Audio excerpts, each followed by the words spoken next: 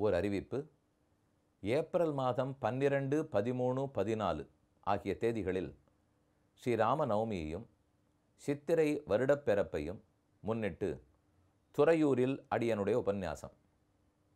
பாலக்கரைக்கு மேற்புறத்தில் உள்ள வேணுகோபாலன் சன்னதியில் மாலை ஆறரை மணிக்கு மூன்று நாட்களும் உபன்யாசம். கண்டிப்பாக பக்தர்கள் கலந்து கொள்ள வேண்டும். ஸ்ரீராம ராமானுஜரின் உபதேசங்கள். இது தலைப்பு துறையூர் சுற்றுப்புறம் வாழ் பக்தர்கள் கலந்து கொண்டு சிறப்பிக்க வேண்டுகிறேன்.